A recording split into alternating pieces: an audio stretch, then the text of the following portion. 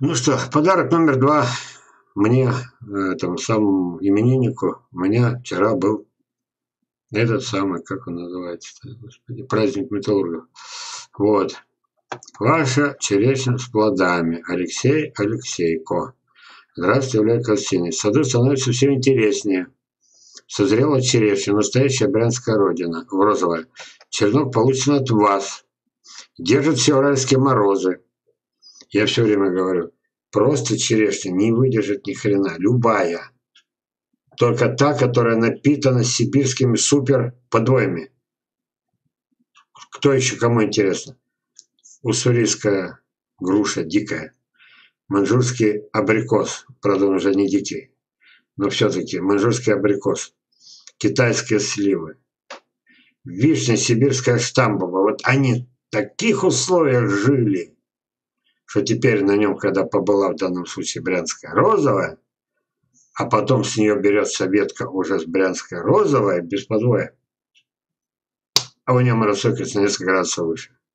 А-ля-ля-ля-ля, что нам э, моя любимая Ольга Исакова сказала, написала? Чушь. Так, нет, слово чушь было. И мошенничество. А? А еще было, что бредовые идеи. Вот это и есть бредовая идея. Но ну, идея бредовая, а черенок настоящий. А морозы держит. Когда это один случай, а когда их сколько? М? Кстати, а где у нас живет наша любимая, моя новая любимая? Ну, как сказать? Вот она. Вот она. Ага. А где она живет? Санкт-Петербург. Там вообще ничего расти. А? Кто мне тогда, а это путь большой этот самый, а, большой, как это назвать-то, а, трибуну запретил, не запретил, а это, а, перекрыл. Ваш Санкт-Петербурга, доктор наук. Уважаемый Николай Иванович, это заместитель этого самого тума, того самого, где царствует Ольга этого. Вот. У меня выпало 18 сортофорных абрикосов до урожая, а вы тут Железову поверили. Вы представляете, мне перекрыли публикации. 2007 год. В каждом номере ваши 600, Тумана, может, забыл? Может, забыл. Я дружил с его этим научным, э, научным заместителем, заместителем по науке. Вот. Тогда была крупнейшая газета. Вот. Я с ним дружил. Лауреат то есть лучшая публикация Железова у любителя, металлурга. Значит, 15 тысяч вам, пожалуйста, да, пожалуйста, путевку в этот, по-моему, в Тунис. Нет, говорю, не надо, далеко, заблудюсь. Не ходите, дети, в Африку гулять. Вот. И в каждом этом самом, за каждую публикацию тысяча, две, тысяча, две. А у меня в то время-то тот сад-то сгорел, чертовой матери. И вдруг бах, вот тебя, железо. Вот. Не можем мы вас печатать. Вот, вот, вот письмо доктора наук. Вот так вот было. А у вас, а теперь Санкт-Петербург мы можно было покорить еще, получается, 15 лет назад. Представляете? Но не покорим. Ну ладно, смотрим, что еще. И вот когда Алексейка Алексей, я хочу всех упредить. Алексейка Алексей, значит, вот спасибо, ваш ученик. Вот первые результаты. Вот. Я-то маленько разбираюсь в этих черешнях, маленько. Так вот, я, чтобы ясность была, взял и скопировал из интернета. Селекционная работа поведения сорта черешни Брянская розовая была осуществлена во Всероссийском НИИ Люпина научными сотрудниками Кальшина и Астаховым. На государственное испытание сорт отправлен в 1987 году через 6 лет культура районирована представлена областям. Мне морды тычут. Вы самозванец, у вас неправильные сорта. Вы не отправляли их на испытания, и у вас нет, они, их нет в реестре. А на, на мне этот реестр. Смотрите, Итак, черешня. Это серьезных вещах говорю. Особенно после посещения меня. Когда я, это когда тот самый генерал, садовый, садовый генерал, был председатель Союза садоводов Красноярского края, был у меня в гостях. Вот. Оказалось, он мои вебинары смотрит. Для меня это честь. А я думал только эти самые металлурги и строители. Нет. Так вот, слушайте дальше. 93 год районировано. По центральным областям. Казалось бы, ну все. Прошло сколько лет? 7 и 20. 28 лет. Вы представляете, все центральные области забиты на, на рынке. В курсе? Нет, на рынке только черешня. Зачем нам эти? Узбеки, узбекская или эти самая, молдавская. А? Польская зачем нам черешня? Вся забита полностью, везде и всюду, везде ящики, ящики, черешня дешевая, потому что не надо везти за тысячи километров. В каждом а, этим самым черешне. Вы что, смеетесь? Ну, правильно, смеетесь. Так вот, я знакома, вот прошло 28 лет, да? Я пишу, правда иронировано? Поищем. Вы, просьба к вам, поищите. Это ладно, а, а, Алексейка, он хоть знал, где ее доставать. Кстати, правда, она брянская рода. Вот. А то, что я слышал, откровение бывшего директора ГСУ. Я долго хотел, но понимаете, что многим это не интересно, вот эти откровения. А это директор ГСУ с Урала. С Урала. А я там был в гостях. И я принял, пока был в гостинице, меня как суперзвезду, тогда сейчас бы никто бы, даже зада бы не оторвал. Но тогда ко мне все три вечера приезжали делегации со всей области. А, Николай Георгиевич, подтвердите. Вот. Галя Латинкова, подтвердите. Мы с вами там познакомились. Вот. И вот когда мы сидели так за чаем, понимаете, и мне бывший директор рассказывала, вот, я как я с тех пор потерял уважение к ГСУ. Я видел три книги, а им, видимо, обязаны издавать книги, небольшие, по тысяче экземпляров.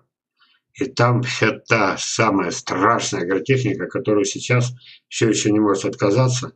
Вот. А на критику реагирует только грязными словами это самая Ольга Исакова.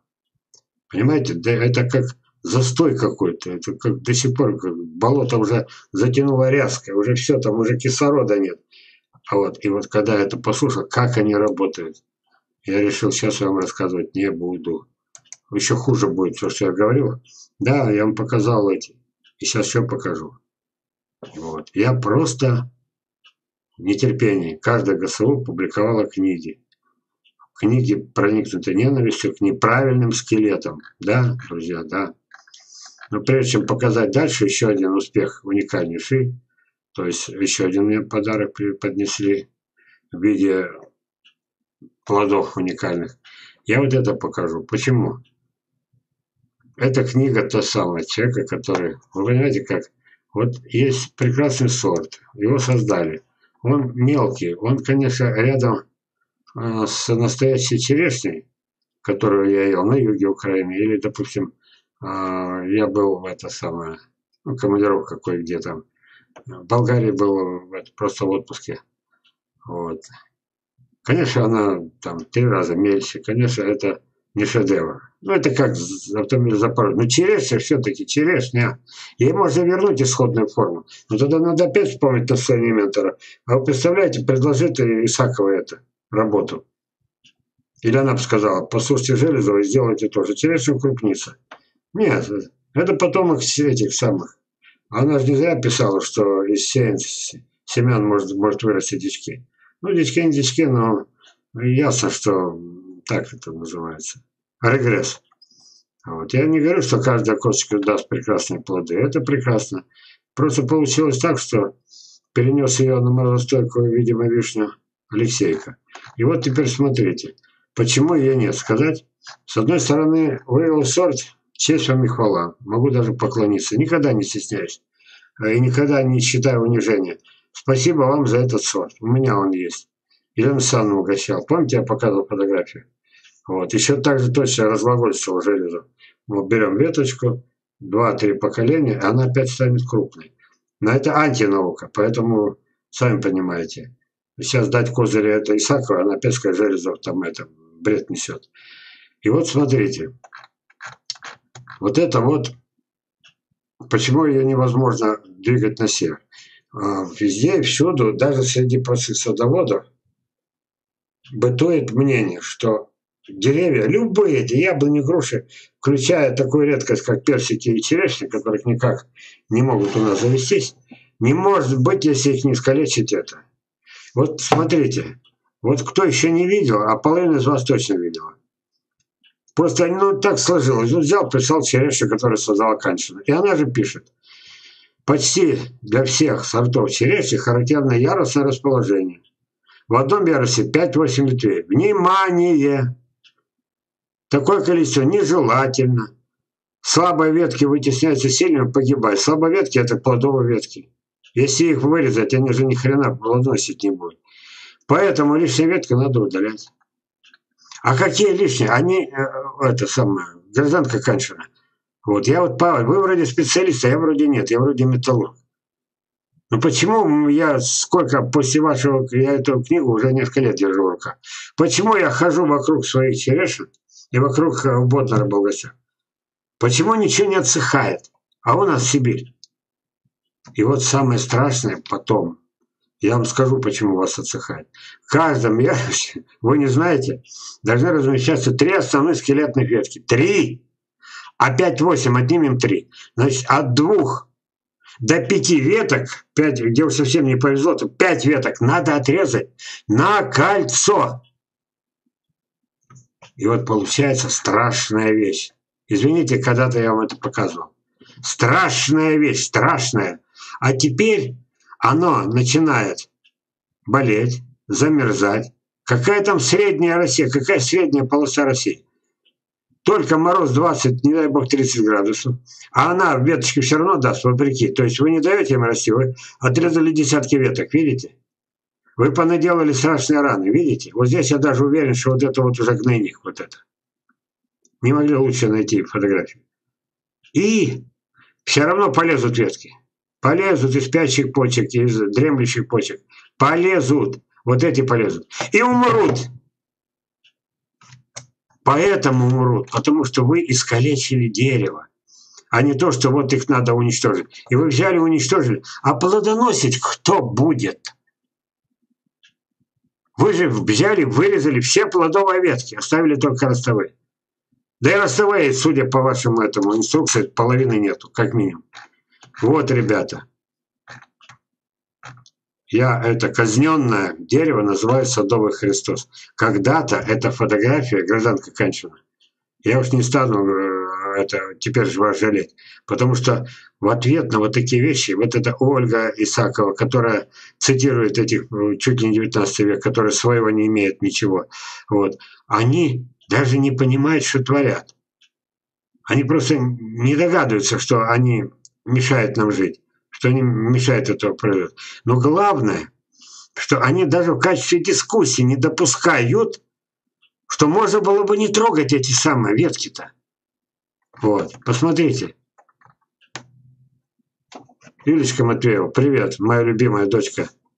Вот, ангелочек. Это, знаете, такое создание, когда она у меня жила, проходила практику. Я как вспомню, это, то, как, какой-то зернышки чего-то варит и ест. Я говорю, ну, не, самое, от слабости не, не сможешь работать. Вот видите, нет, ничего. Но это я так, полушутя. Но я хочу придать такую окраску немножко, ну, доверительную, дружескую, потому что только сейчас буквально матерился, видите. Вот. И вот это мы в настоящем саду, где никто никаких веток не отрезал. А урожай, ой, а ведь это же наш к сожалению, покойный Борис Осич. Представляете? Боже ты мой. Ну, а если бы Боднер взял и отрезал бы эти все, что бы он имел бы? Смотрите, посмотрите, к дереву не прикасался секатор.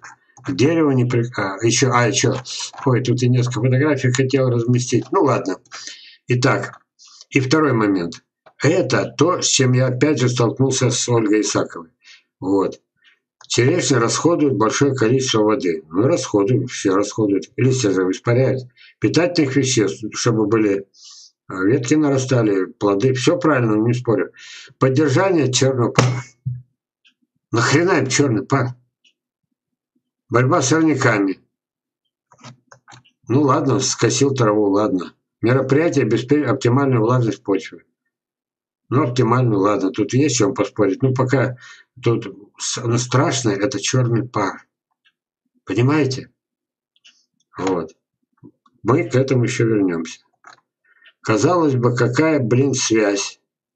Но я пишу, это одна из страшнейших ошибок науки. Именно науки, потому что ссылается на что знания получили в Тимирязевской академии. Сами калечат престольные круги и ни в чем не виноватых садоводов научили. Что такое калечить престольные круги? Я ниже вам объясню. Там получается польза и вред. Вреда примерно 500 в тысячу раз больше, чем приносит пользу калечение каторжный труд. Каторжный. Попробуйте 10, 20, 30 деревьев, поддержите. Знаете, что такое черный пар? Это когда вообще не травинки. Попробуйте. Кто грядки имел э, эти, он знает. Ну, грядки с, с овощами. Вот там уж каторга, ну там, по крайней мере, они вот овощи вот такие. А когда Алексей Алексей, вот чьи фотографии мы глядели, что письмо читали, о, я вспомнил, вот, у меня это письмо где-то в архиве есть. Я его давно не видел, оно могло потеряться. Помните, вы стояли возле саженца, который выше вас ростом, прирост. А это, по-моему, есть то, то самое мой этот. Моя веточка вы превратили в мощный двухметровый этот самый. Одна, а, какой однолетний? Од, а, одна, за одно летнее, за одно лето вот такой вымахал огромный. Вот. И чихали они на, на эти самые, на то, что там под ним творится. И зачем ему черный пар? Но это потом.